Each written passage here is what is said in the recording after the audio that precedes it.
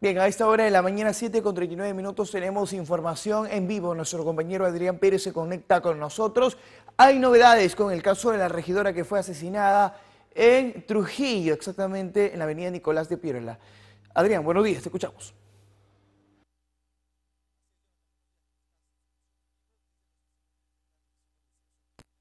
Estamos en la Divincri.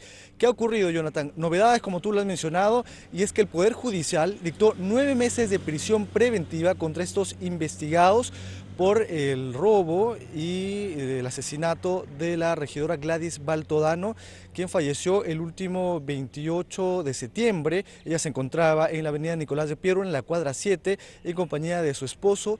Tras resistirse a un robo, un delincuente le disparó en el pecho y lamentablemente la regidora falleció. Esto luego de haber retirado una fuerte suma de dinero de una entidad bancaria. Las investigaciones han acelerado, Jonathan, la Policía Nacional, el Ministerio Público y el Poder Judicial en esta oportunidad han trabajado articuladamente y ya lograron la prisión preventiva para tres presuntos implicados en este robo y asesinato de la regidora Gladys Baltodano. Fue la fiscal Rosa Niño quien presentó algunas pruebas ante el séptimo juzgado y ya se ha logrado esta prisión preventiva para tres sujetos.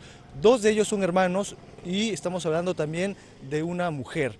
¿Quiénes son estas personas, Jonathan? ¿Quiénes son estos investigados? Estamos hablando de los hermanos Jean Neil y Pierre Luigi Ruiz de la Cruz así como también Angie Nicole Villalba Casas. Estas tres personas serán investigadas por su presunta participación en el delito de robo agravado con subsecuente muerte de la regidora Gladys Baltodano, un hecho criminal que ocurrió el último 28 de septiembre por la mañana en la ciudad de Trujillo. La fiscal Jonathan presentó los graves y fundados elementos de convicción, entre los que se mostraron a través de videos y pericias la participación de los sindicados en la comisión del ilícito, así lo informó el Ministerio Público en la ciudad de Trujillo. El juez Jonathan admitió los presupuestos de idoneidad, proporcionalidad y peligro de fuga al momento de emitir la decisión de dar por fundada el requerimiento de prisión preventiva. Se ordenó que los investigados sean trasladados al penal de varones y mujeres de la ciudad. Esto ocurre, Jonathan, luego de la reconstrucción del crimen, que fue el jueves, el último jueves, el Ministerio Público y la Policía Nacional estuvieron presentes en la avenida Nicolás de Piérola y se realizó esta reconstrucción del crimen eh, que también estuvo dirigido eh, por la fiscal Rosa Niño. Es muy importante, Jonathan, destacar que durante esta investigación también estuvo presente la Policía Nacional, el área específicamente de la sección de investigación de robos de la Divinque, precisamente donde nos encontramos ahora. Los agentes del orden, la, la, policía, el Ministerio Público, en esta oportunidad han acelerado las investigaciones y ya se obtuvo la prisión preventiva, que es un primer paso.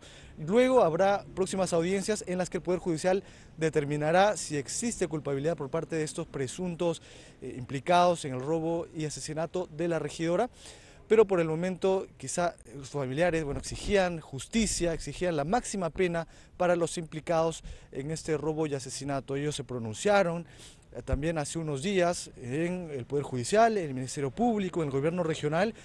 Conversamos también, Jonathan, un equipo de Sol con los familiares, de la regidora, con los amigos de esta regidora que lamentablemente falleció producto de la delincuencia en nuestra ciudad. Es la información que tenemos en vivo a esta hora de la mañana, Jonathan. Regresamos contigo a Estudios Centrales.